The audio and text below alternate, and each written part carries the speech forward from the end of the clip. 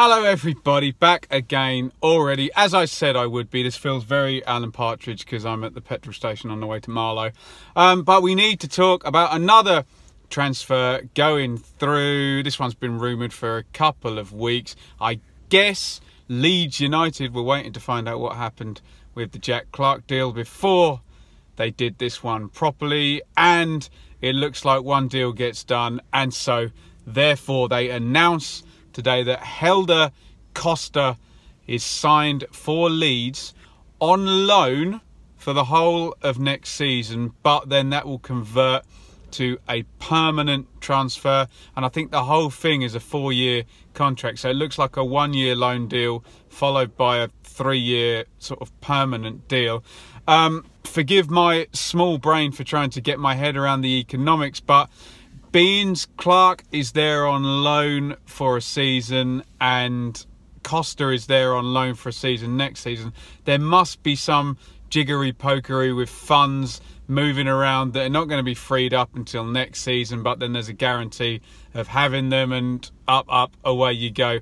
Could be as simple as um, the Clarke money comes and the Clarke money goes straight off to Wolves or whatever it is they've agreed to pay because we do not know what that fee is going to be. Could just be some normal financial manoeuvring. Nothing wrong with that. Clubs always spreading things over the years of deals now, especially in the Championship um, with the FFP rolling three years, especially if, like Leeds, you are not in receipt of parachute payments. So in comes Costa, and I remember Helder Costa as being the first ridiculous player that Wolves signed. And it was almost like I didn't know what they were getting when they brought him in. I didn't know how the landscape was going to change with George Mendes and Fosun being involved in Wolves. So Costa came in in 2016, first of all on loan, possibly even fact check me on this, when Paul Lambert was the manager,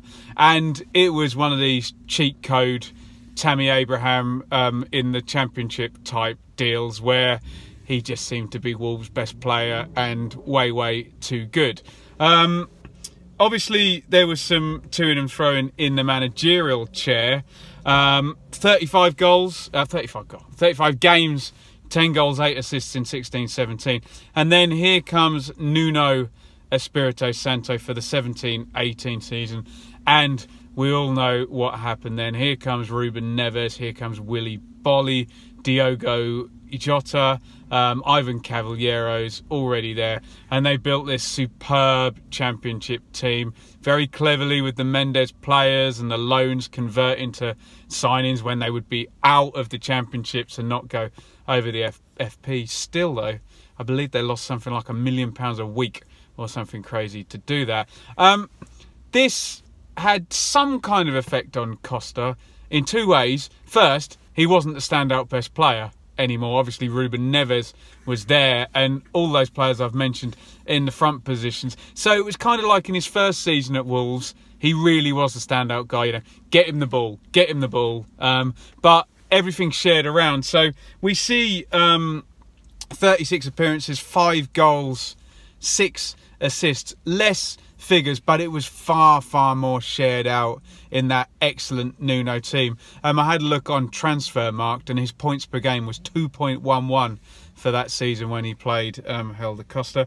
Um, my big memory of him that season is I went to see um, Sheffield Wednesday versus Wolves around Christmas time. Wolves won 1 0. Neves got the goal. And I remember Costa came on as an impact sub, and I thought, my, wasn't he their best player last season? And now he's an impact sub, and um, they were looking to defend a lead. And if you remember, Wolves that season would fold back into this 5 4 1.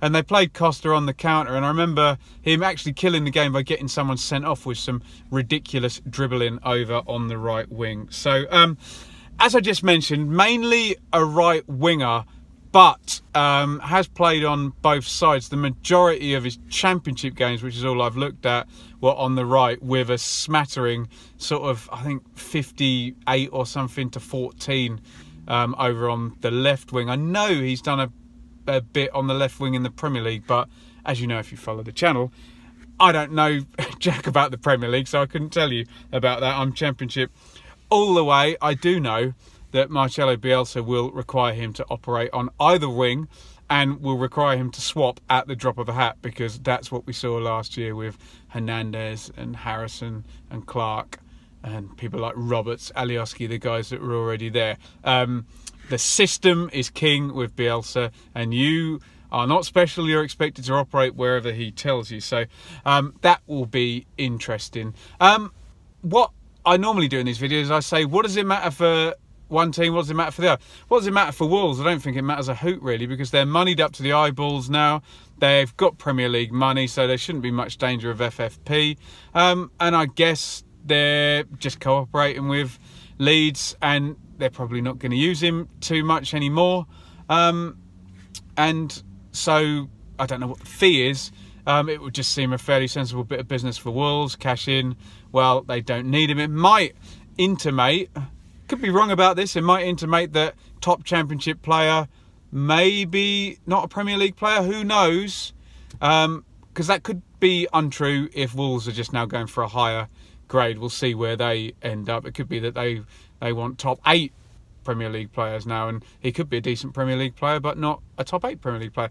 I don't know. The proof is in the pudding. There, we'll find out. What I do know is for Leeds, Helder Costa is a very, very good Championship player. As I said, a cheat code in his first um, season at Wolves, far and away the best player, and 36 appearances in a team that really blistered to the championship, um, rubbing shoulders with Neves and Saiss and Cavaleiro and Jota and Bonatini and then Afobe for the end of the season. Um, you know, so you're buying a, a championship winner who's at this level a top 5% player.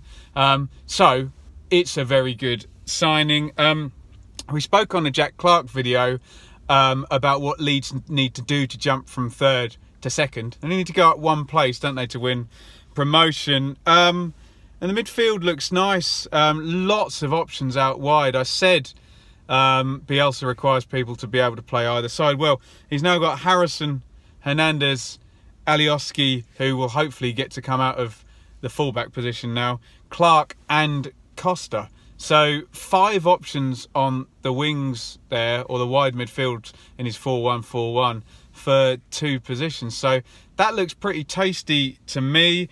With Klich in the middle, Phillips if they can keep him, um, deep line playmaker. Maybe we'll see Shackleton as well. Looks good. Leeds had a lot of injuries last season. If they steer clear of those, um, Bamford and Roofe need to stay fit all season. Then this looks very decent. You would argue um, maybe Hernandez, Costa, and Roofe doing the attacking from wide and down the middle with plenty of support would be the way forward.